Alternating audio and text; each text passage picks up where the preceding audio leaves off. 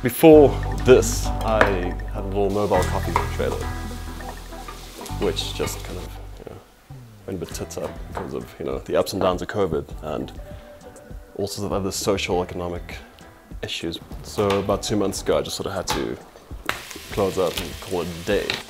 So then I kind of took inspiration from Anthony Bourdain, who is, I want to say one of my heroes, but I think the man is my all-time hero. And it's taken off the first book he did, the one that kind of shot him up to fame was Kitchen Confidential.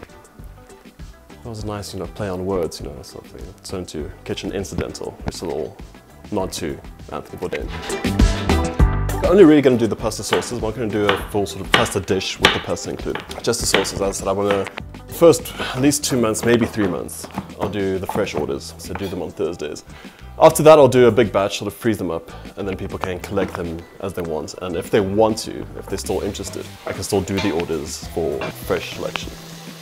Um, do the, well, the bolognese that's cooking now, and the pasta alla norma, which is the aubergine and a tomato base. And then I'll also do a mushroom ragu. Both of those are vegan. Um, those, that's sort of be the base menu for now. Hopefully this takes off.